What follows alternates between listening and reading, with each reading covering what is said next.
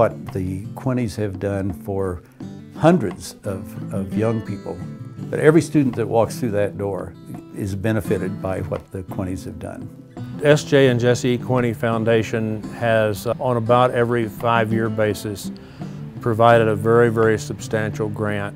We've got a, a SJ and Jessie Quinney Library, we've got the SJ and Jessie Quinney Biology Natural Resources Building, the Janet Quinney Lawson Building. They've just been an absolutely marvelous family and foundation. Virtually any way that the college needed help, they've always just jumped at the opportunity.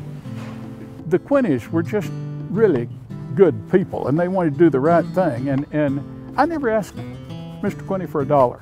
Know, I never did. And he poured millions into this. He wanted natural resources to be one of the major areas of research and concern for the whole state, not just Utah State University. They converted classrooms, they modernized laboratories, uh, they provided scholarship after scholarship. They brought in extraordinary young people from all over the world. They've uh, funded graduate students. They've provided travel for faculty.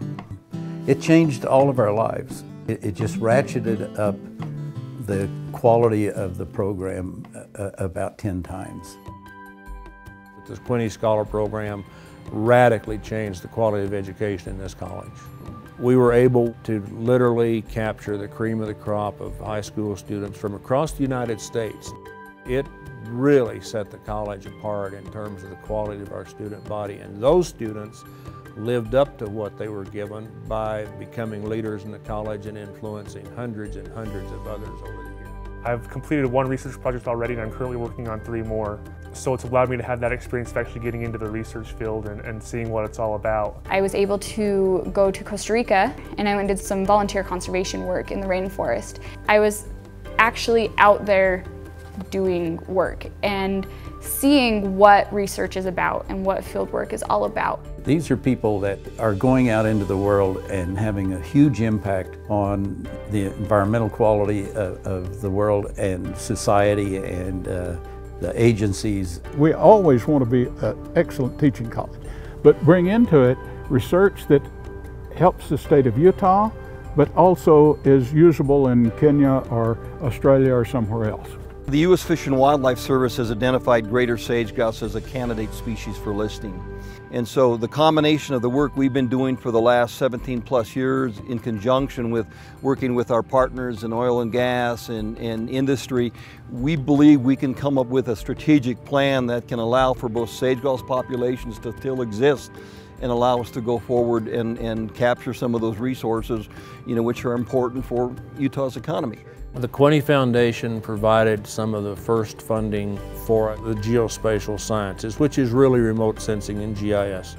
It's used in everything from highway construction to community planning to virtually anything that's planned and developed in the natural resources field. We have remote sensing and GIS capability for every student in the college on computers that are located in the Quinney Library. Uh, two of my students that actually graduated worked on research are the number one and two people in the state of Utah working on sage-grouse issues.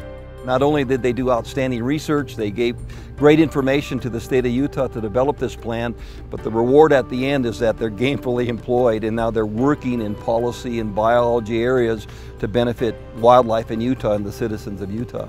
The Watershed Sciences department that I'm in is nationally and internationally known just as an excellent program. Working in this part of the country with my advisor, I was afforded the opportunity to um, work in some of the most spectacular landscapes in, in the American West. The research and the teaching integrate you know, very well. It's real obvious at the graduate teaching level where we have graduate students out doing the research with us, but at the undergraduate level uh, it integrates very well. The students just have a real wealth of places that they can go do research, whether it's on riparian habitat, on wildlife, on water quality and quantity. Undergraduates can gain experience doing research.